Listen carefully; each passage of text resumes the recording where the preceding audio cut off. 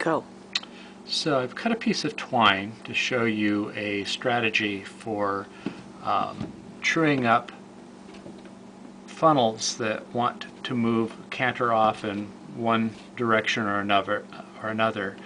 The strategy for for one of the strategies for springs is to make certain that the funnel, as it compresses, it's doing so vertically. If the funnel has the opportunity to canter off in one direction or another, it's going to sit uh, it's, not going to be optimum because you're not going to gain all of the resistance that you typically would from the spring, especially since the central portion of the funnel is where the greatest amount of tension actually occurs. And uh, the risk is also over a period of time that the funnel will lop over to the degree that metal fatigue will form and the spring will actually break. So this is a way to be able to true that funnel up without completely tying a course of springs. Cut a piece of spring, I take my wax block, it's just a big chunk of, of beeswax. You can buy this from beekeepers, your Saturday market. It's always nice and it smells good. And you run your flax twine or hemp twine through it numerous times until the string comes up feeling very, very waxy. And you can tell it just mats everything down onto it. It doesn't want to open up very easily. The fiber stays very, very tight. You see Show that? me that again. I'm Okay. open yes. it up. Stays pretty much in position. These springs, these twines can become abraded very quickly. And so I'm going to create a, just a, a hitch um, and attach attach it to one of these lower rungs. This is a little bit of a cheat rather than having to tie a course of springs. I'm going to loop it over instead of creating a knot. Pull it through, you'll be able to see it. And it just slips right on through. Okay. Now, we'll cinch it down.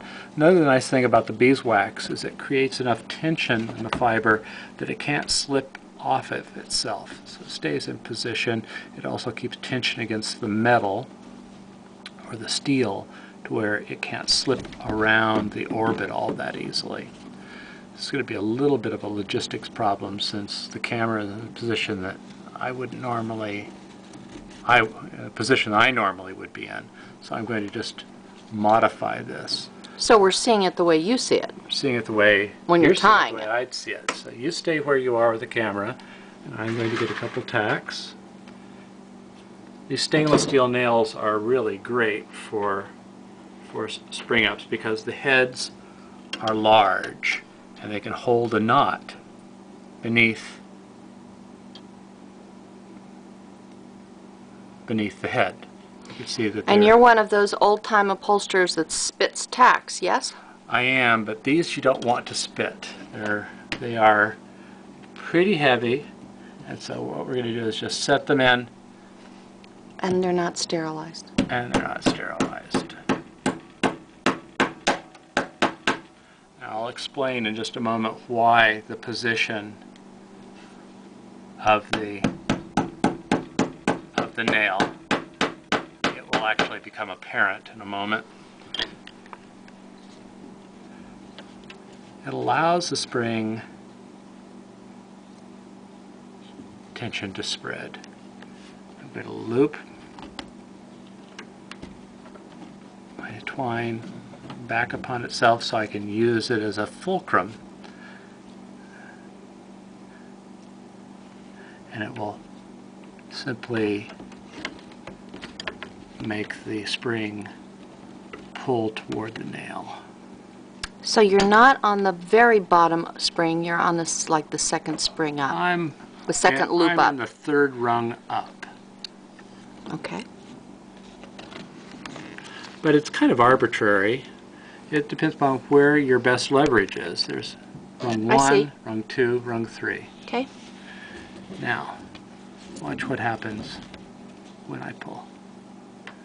I can influence the direction the funnel moves. You say, uh-oh, if I overcorrect, then I'm actually going the opposite direction. I want to pull it the other way. But those, those directions can be corrected by going in the opposite direction with twine or tying, simply tying a course lower down upon the rungs. Now there is a downside to using this method, especially if you're crossing over numerous funnels and you're not actually anchoring your tie to all of the funnels. And that is that as the spring collapses, it can abrade the twine and actually cause it to break. It can also make the spring function in such a way as it as it hits the twine, especially if it's thick, it can keep the spring from from compressing completely, and so it changes the way the piece sets.